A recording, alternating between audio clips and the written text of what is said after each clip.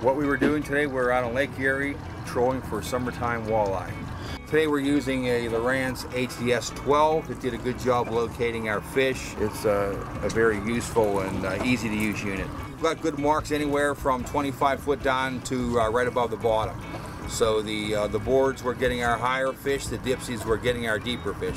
We're trolling about 55 to 58 foot of water trolling at uh, two and a half mile an hour to 2.8. This is the basic setup today. We're using the Okuma, We're using the convectors with the Okuma Classic Pro rods. We were using 10 foot long for our outside dipsies and the insides were 9 foot. You have to have uh, the different lengths uh, staggered on the boat so that uh, makes a lot easier fishing. We've got some deep thunder sticks that was doing the job today.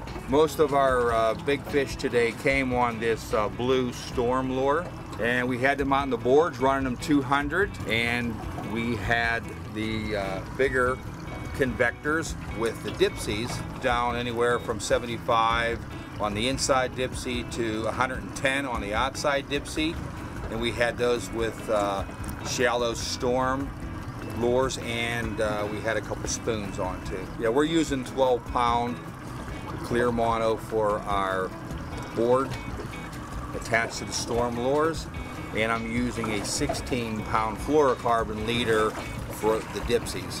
Hi, I'm Captain Larry. Thanks for watching this week's FishingOnline.com in-depth look.